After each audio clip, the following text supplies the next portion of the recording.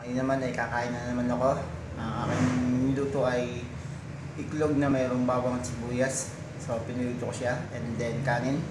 Ah, ito siya. Pakita ko sa inyo.